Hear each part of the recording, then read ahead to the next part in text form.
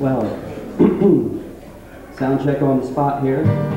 It sure is great to be in Takilma. Oh my goodness. All sorts of friends keep popping up out there in the audience.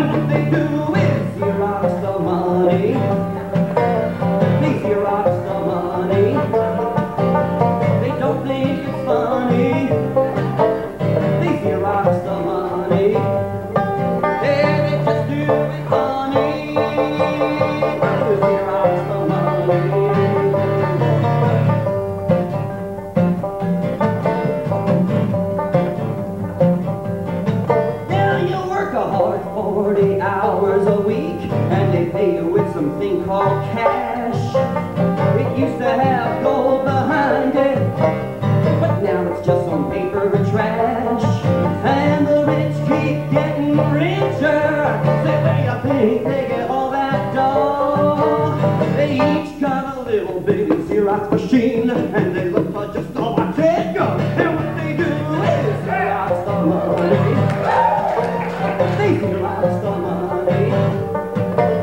They don't think it's fun.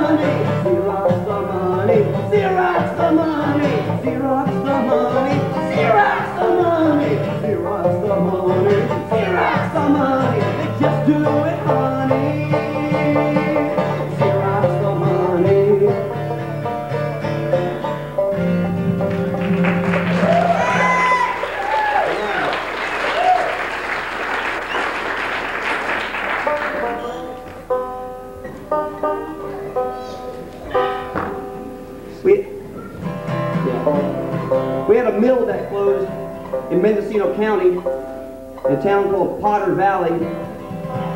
And uh, as usual, they blamed the mill closure on environmentalists and uh, our lawsuits. And uh, I was just got a little bit more irked than usual when I read it this time around. So I wrote a song to explain why the mill really closed. And I'd be happy to report that we had between 50 and 60 mill workers request this song on KUKI Country Radio after it came out. They kind of like this. There's some actual quotes from the mill workers as to uh, some of their thoughts in, in the middle of the song, so I, I didn't make up any of this. Just happened that way. Here.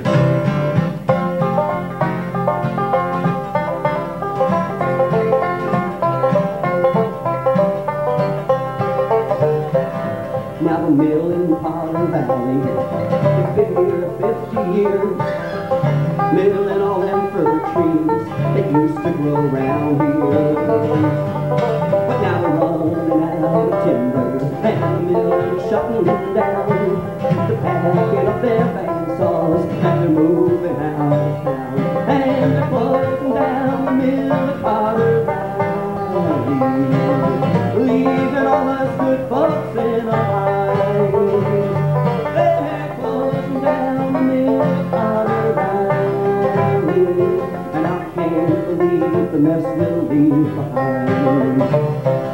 Now Ray says there's timber back there, the hall they right past town. Sam says they'll only reopen if some other mill burns down. Hey, the company says it's environmentalists printing up their style. But as I look out on the Mendocino farmers, can't see a tree for miles. And they're closing down the mill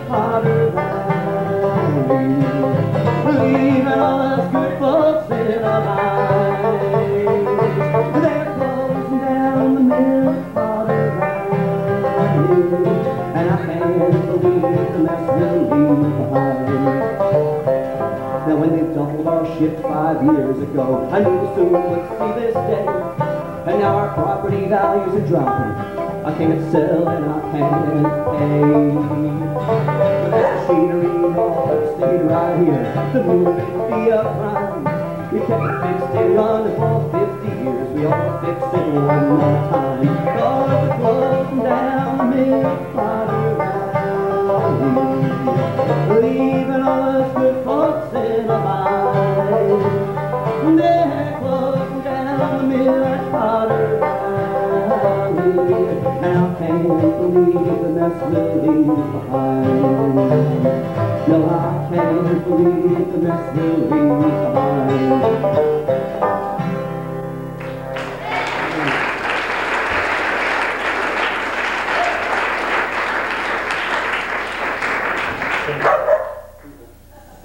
understand.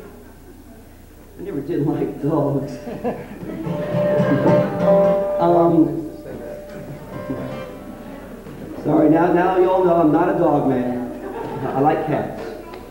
And uh, speaking of cats, uh, I understand that you've all had some uh, interesting alter, um, negotiations with the Bureau of Land Management, and that in case of, uh, I understand about five timber sales, you managed to stave off the, the BLM, and you, know, all be real happy with that. So, course, you got to remember, BLM isn't the smartest government bureaucracy in the world, so don't pat your back too hard. We, we, we battled the BLM down in, uh, down in, in the Cahto Wilderness, down in Mendocino County, and we blockaded them for three days, and the Department of the Interior, at the request of the Cahto Indian tribe, who the BLM had unfortunately never heard of at the time, um, they stopped the logging after three days in the blockade. George was there. George and I first started playing together at a BLM blockade. And at 13,000 acres, you know, Elkhorn Ridge, Cahto Peak area, it's still not being logged yet. It's tied up in court and it's looking Not good. being logged at all. It's not going to be logged at all, that's right. Cahto to the ocean, here we come. All right, so here's a song for the BLM.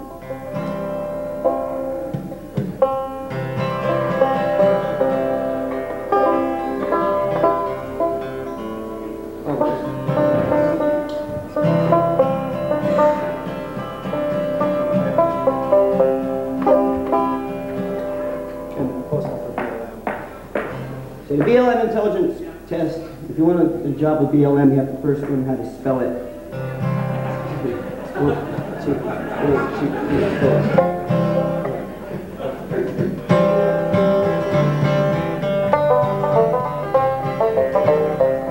Now the Bureau of Land Management is part of the U.S. And they've managed our soil much better than anyone can, I guess. Now they know about the forests and the mountains high above. And they know what each damn tree is worth, cause trees are what they love. Now they lease our land for cattle, cause they love the wildlife so. And keeping all the trees cut down helps the grass population grow. But our land is reaping fortunes, so the U.S. survive. Each acre stomped by cattle earns a dollar thirty-five. Hey, BLM, you ain't the friend of the eagle and the bear. But the corporations love you, cause they get the lion's share. Could it be you're jealous of the world you're tearing down? Cause if you one tenth of an eagle, you'd see better than you see now. Now they have these public hearings where they ask our point of view. Like, what do you think about this thing here on page 4002?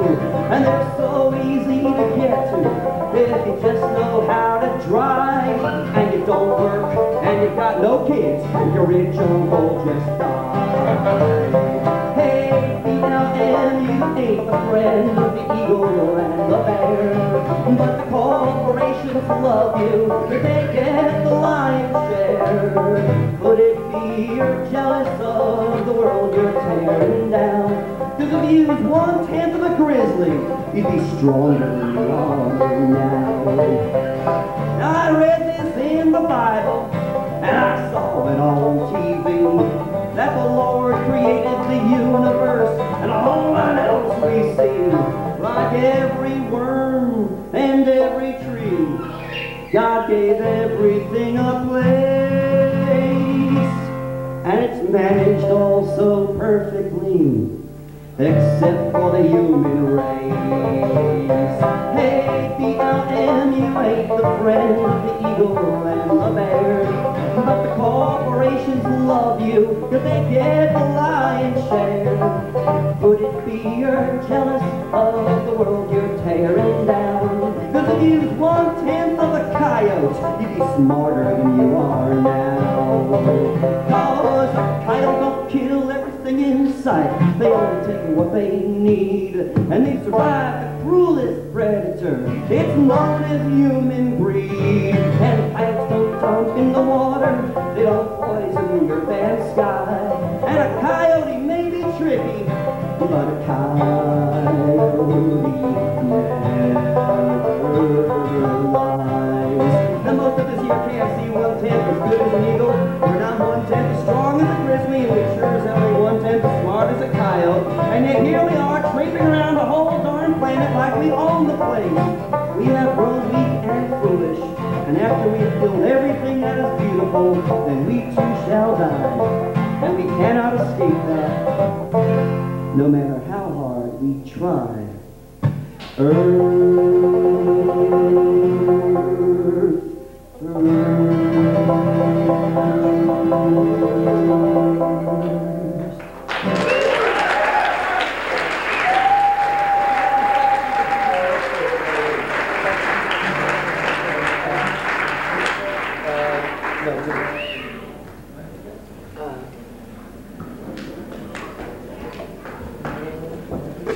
Well,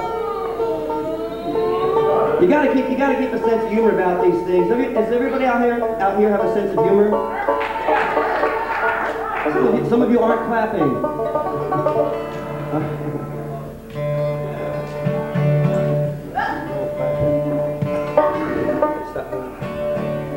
Now this song, this song really isn't about tree spiking, even though the uh, phrase comes up in every chorus.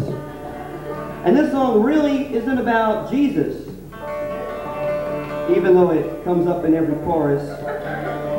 What this song is really about is taking responsibilities, responsibility for everything you do. For everything you do, everything you put out there. That's what this song is about.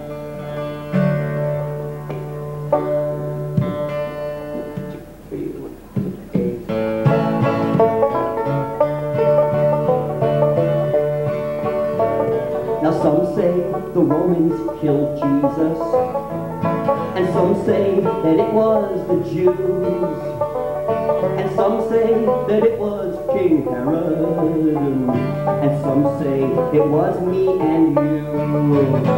When I think of the cross he was nailed to, and the tree that was logged for the wood, I realized it was the loggers killed Jesus. And it's time that we got them back good.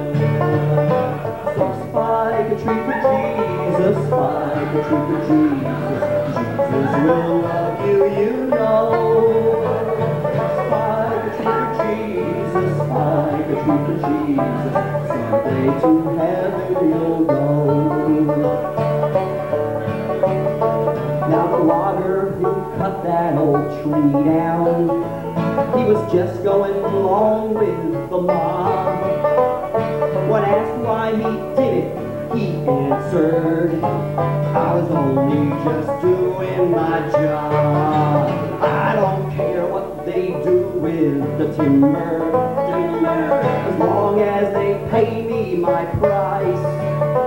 They can go make a frame to hang a picture. They can go make a cross to hang Christ.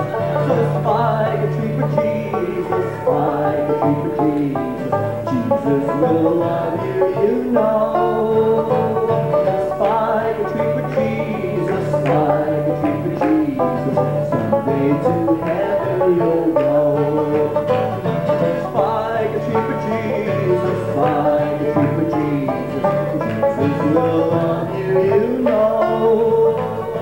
Spike a tree for Jesus, spike a tree for Jesus. Someday to heaven you'll go. And Jesus will love you, you know.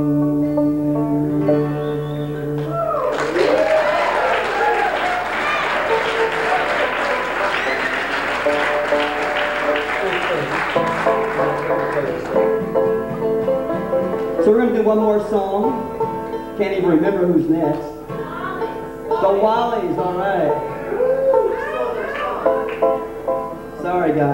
The Wallies do this song too, so. All right. No, the last one you did also. So anyway, I just like to say that you know there's 24 people or so who were arrested here in the commie offices, as I understand it. George, friend of mine, Martha, and I, we got arrested for sitting in trees. And whether or not we all personally think that the time is right to go out there and do something, the time is always right. They're always, they're always cutting down the trees, they're always mining the land, they're always bombing, bombing the desert. And I guess what I want to say is that those, tw- those 24 people, I don't know if they had the consensus of the community or not, but as far as my heart goes, they had the consensus of Mother Earth. And if anybody can support them, I know that some people are going to come up and talk about them later, but I just want to say that I think you did a real courageous thing. And I understand things are moving along for them okay, and I wish all of you the best of luck in saving uh, your bioregion up here. We're working down in, in ours. And, uh, you know, we shouldn't be afraid to say, put the earth first, you know, because earth, all earth first is, is two words. That's all it is. Thing to me. And I don't want anybody to ever take away that right by making it some kind of bad word or something. Even if some of the people giving us the hardest time are on our own side.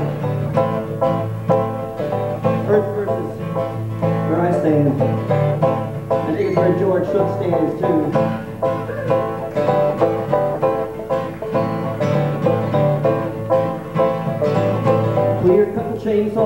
The trees, disrupting everything that lives in peace. Our animal friends are on the run, but there's nowhere to go when the job is done. How can we stand by while this all takes place? We've got to stop this inhuman race.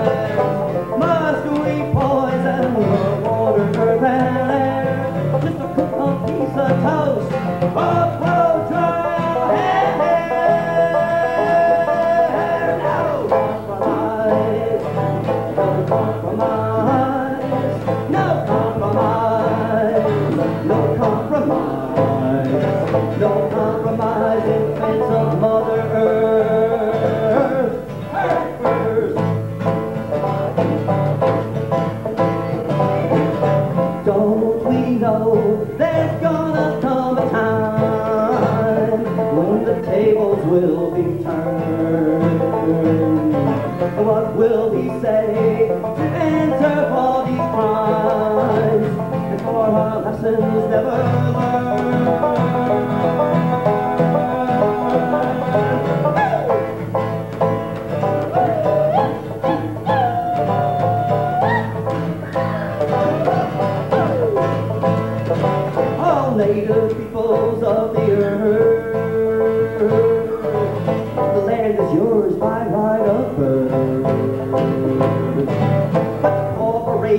stand the see.